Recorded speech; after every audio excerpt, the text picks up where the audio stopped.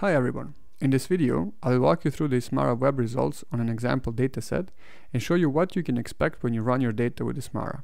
Check out our Ismara upload video to see how you can upload your data to the Ismara web server.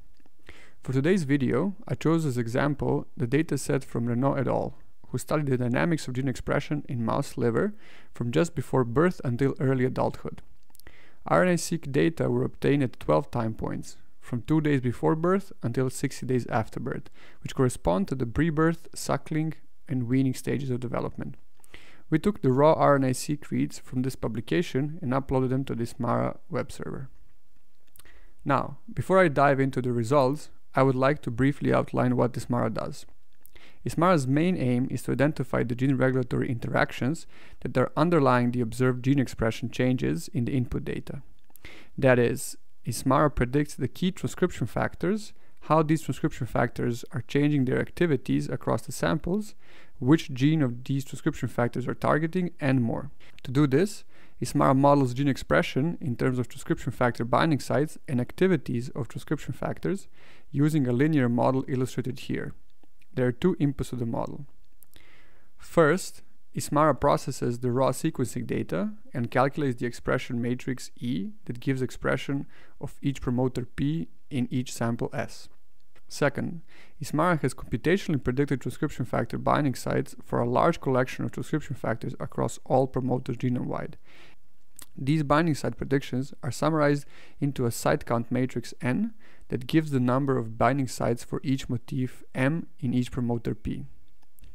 Ismara now models the expression of matrix E in terms of the site count matrix N and a matrix of motif activities A, which represents the activities of each of the regulatory motifs M across the input samples S. That is, the motif activity AMS reflect how much the occurrence of a binding site for motif M is in a promoter that affects its gene expression in sample S. Let's illustrate how this works for an example gene.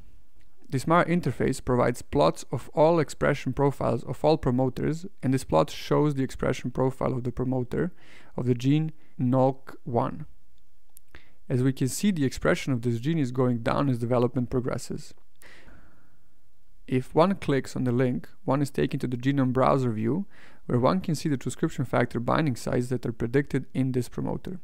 The transcription factor's name is indicated at each site, and the intensity of the red color indicates the confidence in the predicted binding site. Using the predicted binding sites in each promoter, Ismara now determines motif activities for each sample so as to best fit the observed expression profile. This fitting results in predicted expression profiles for each promoter, and we here see the predicted expression profile for NOLK1 in orange. On the right is a list of transcription factor motifs that contributes to this fit. We will now walk you through the main results that Ismara provides. When Ismara analysis of the dataset has finished, the first results page you're taken to looks like this. It shows a list of all motifs that are sorted from top to bottom in order how significant they are for explaining the expression changes in the dataset. Once we click on a given motif, for example E2F2 underscore E2F5, we are taken to a page with results for this motif. The first thing you see on top of this page are sequence logos of the motifs, followed by the transcription factors that are associated with them. In this case, E2F2 and E2F5. Note that Ismara groups highly similar motifs into motif groups, and here the motifs of E2F2 and E2F5, which are practically reverse complements of each other, have been grouped. This plot shows the inferred motif activity across the samples, including error bars. Formally, the motif activity in a sample corresponds to the expected log-fold change in expression that would result from removing a single binding site from this promoter. This profile says that E2F2, E2F5 motif is upregulating its targets most in the pre-birth stage, and that its targets are progressively downregulated with time. Importantly, these motif activities are inferred solely from the expression of the targets of the motifs and have not considered the expression of these transcription factors themselves.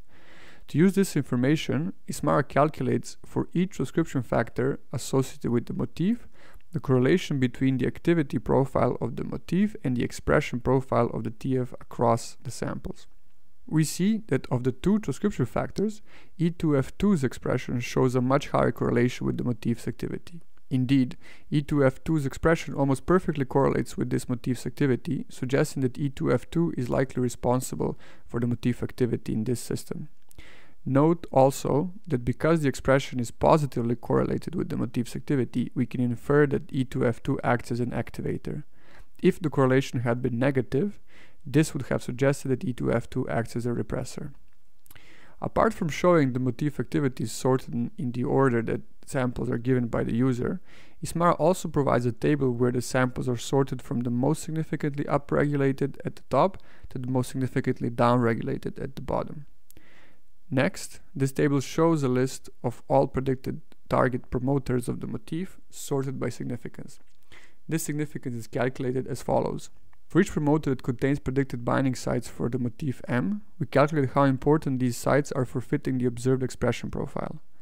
We have the observed expression profile of the promoter shown here in black, and in red the expression profile predicted by Ismara using original site count matrix. We then remove the binding site for motif M from the promoter P, leading to this new blue site count matrix and recalculate the predicted expression profile, shown here in blue.